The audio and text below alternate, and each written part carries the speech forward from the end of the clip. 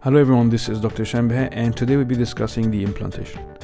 However, before I thought about um, just posting to you the implantation process that I've done for the previous patient that we have planned together, I thought about, you know what, the best thing to do is I will tell you what is the optimal implantation techniques first, and then you have to judge me what I've done was right or wrong. And in order to do so, I thought about, you know what, it's a lot of steps that we have to memorize.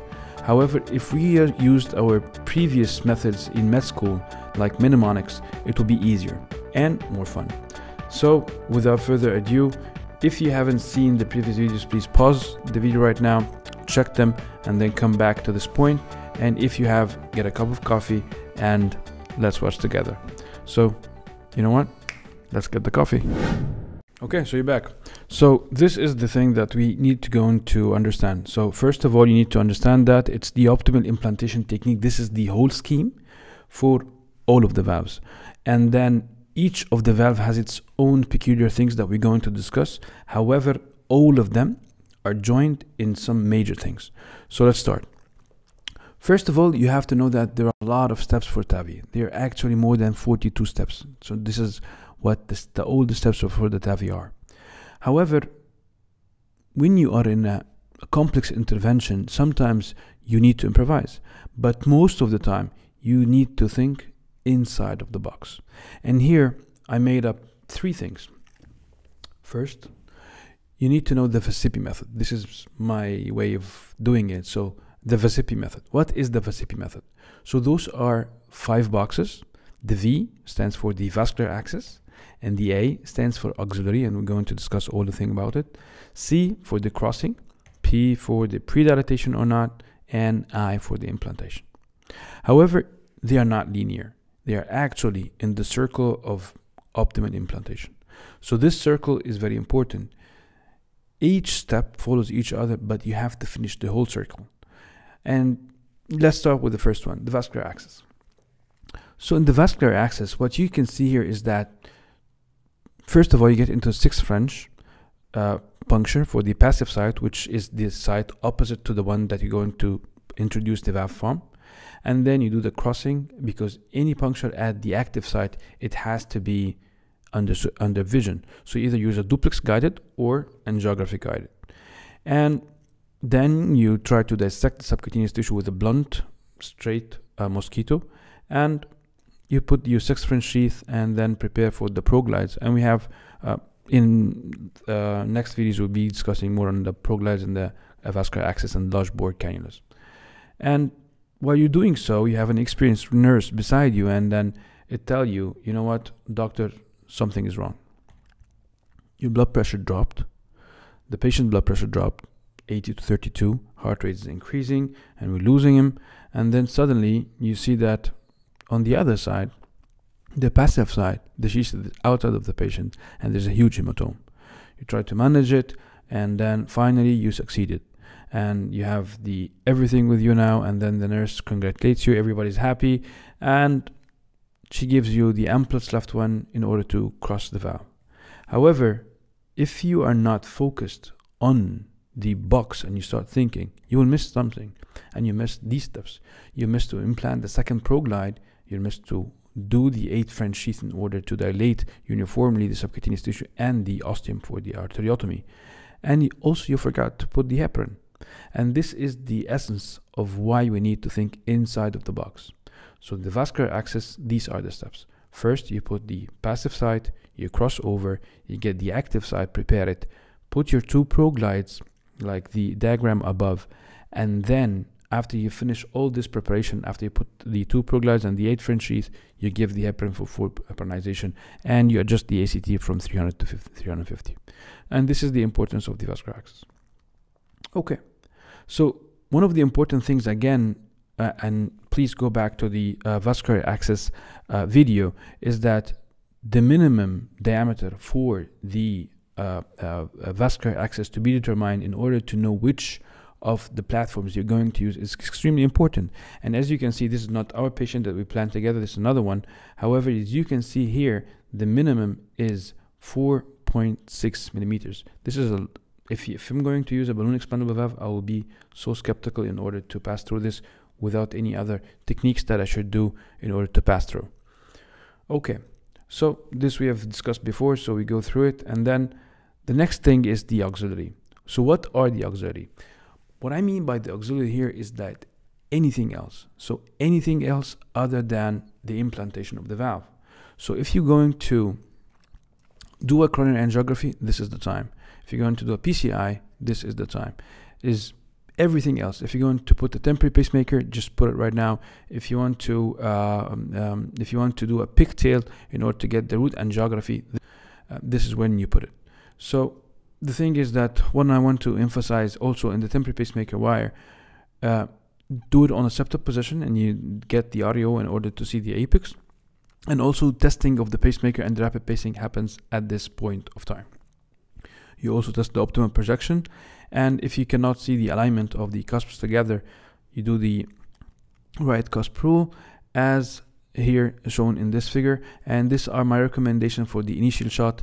You get a total volume of 20 and a um, 50 millis per second and a PSI for 600. So the other thing is that uh, I would like to emphasize on how to get the optimal implantation, uh, the optimal implantation angle. And you have here the coplanar view, which is the three cusps at the same level, like the left, the right, in the middle, and the none. And here in the, uh, this is a, um, a beautiful uh, paper by uh, Kasel and, uh, and his group, and it's follow the right cusp rule. So if the right cusp is elevated, means into the uh, upwards, and then the others are low, you go and follow it, and you go cranially. And if it's lower than the others, then you go caudally. And if it's hidden beside uh, behind the non-coronary cusp, then you go um, to the uh, right RAO. And if it's behind the left coronary cusp, you go LAO. And this is where you um, um, try to maneuver with the C arm in order to get the coplanar view. And of course, you get the initial implantation angle from the CT, as we have discussed before. And also, please check the videos if you haven't seen them. And this is and this is um, a quick video on how to get the cusp overlap view, and which means is that you get the right uh, and the left uh, coronary cusps uh, imposing over each other, and the none at a different part. And this is very easy. Just when you get the coplanar view, you start rotating the axis. And here you check as you remember we check by going scrolling up and down into the aortic annulus until we can see the three dots at the same level. We increase the slice thickness until we can see here the three dots are at the same level are they are equidistant from each other. And then start to maneuver the axes to get the red and the yellow superimposing each other as you can see here. So I go a little bit of right right right right right until I can see both of them. And then down here you can see the angle.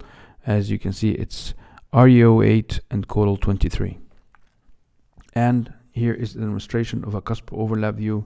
You can only this is a coplanar view. And here how you get a cusp overlap view.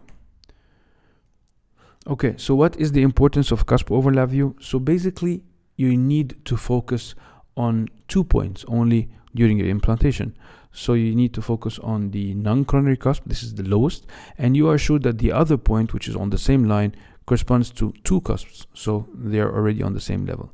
And the other thing is that the membrane septum and the left bundle branch block uh, and the left bundle branch lies um, underneath the non-coronary cusp.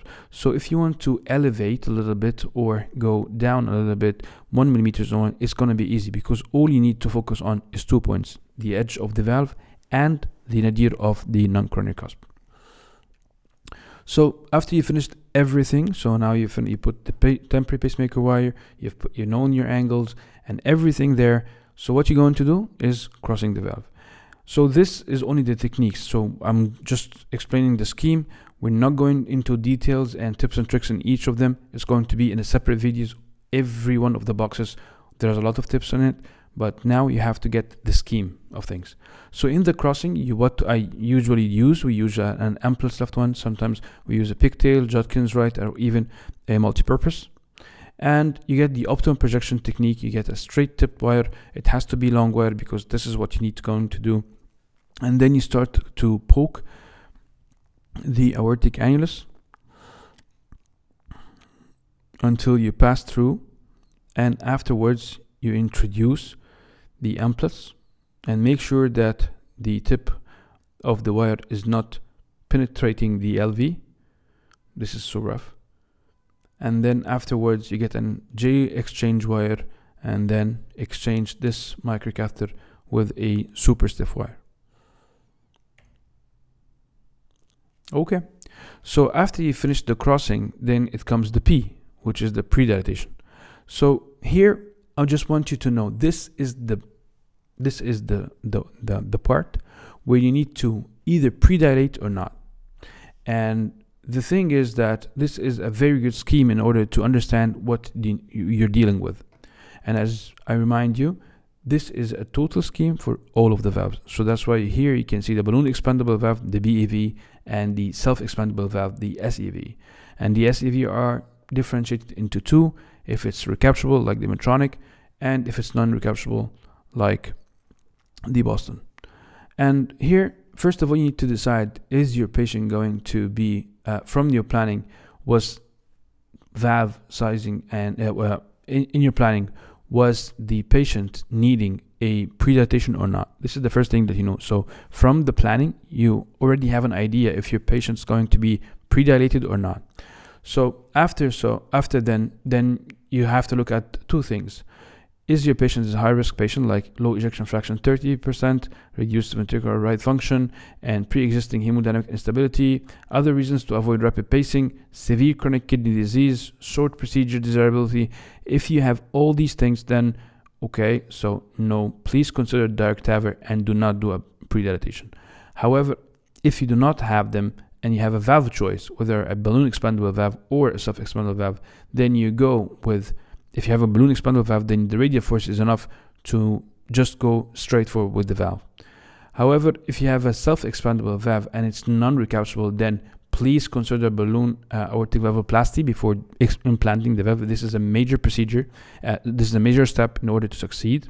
And if you have a self-expandable valve, remember, is it recapturable or not? If it's recapturable, then you have the two choices. Maybe you can go directly straight uh, to the valve and if it did not um, succeed then you can recapture it and then um, um, uh, do a BAV and then try it again.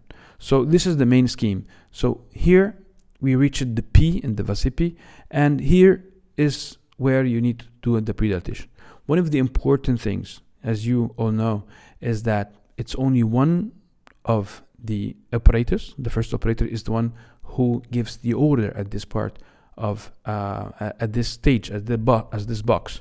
So the operator says, you know what, rapid pacing on, and then he waits for the pulse pressure to drop in order to stabilize the uh, balloon, and then he says inflate, and then the second operator inflates, and then the first operator say deflates, okay, and then you have to make a loop deflating, and then after it deflates, gets the balloon out, and then he says stop pacing so nobody talks in the room except the first operator. This is a very important step. We will discuss in further videos uh, what to get out from pre-dilatation or post-dilatation. Okay, so after the P, then we go into the I, which is the implantation. So in the implantation, I want you to understand a very important fact, which is all of the valves, it has three things that you need to do. Check, and then the valve, and then check again. So check valve check. All of the valves they are need to, they are needed to be checked before introducing into the patient. And then during the valve implantation, there are a lot of things that we need to do in order to make a good implantation technique. And then after you implant, before you withdraw everything, you need to check again the valve in its position. So whenever you get into this implantation, you need to know check valve check, check valve check. So the first check is what is the is the valve loaded uh, or crimped correctly, and then when the valve you need to know that, and then each of the platforms they have a specific things that you need to abide by in order to know the optimal level and the optimal appearance of the valves. All of these things you need to know.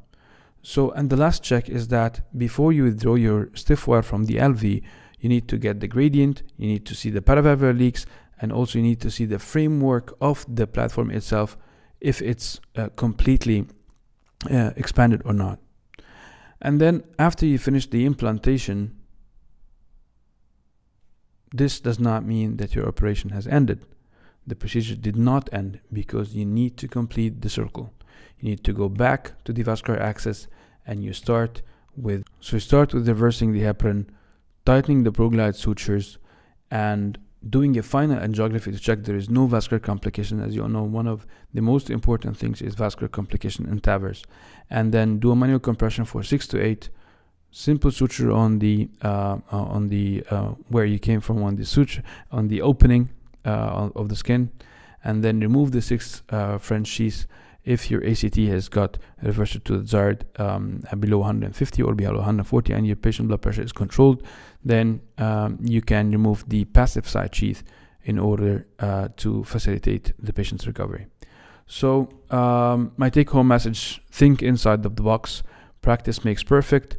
Always know which valve for which patient. Complete the circle of valve implantation is very important. And uh, at the end, um, don't forget the VACPI maneuver vascular access, auxiliary crossing, pre-dilatation, and finally implantation, and then you go back to the vascular access. Thank you so much, and I hope you guys enjoyed it. And uh, right away, I'm going to show you the implantation for the valve that we have planned together. Thank you so much, and I hope you guys enjoyed it.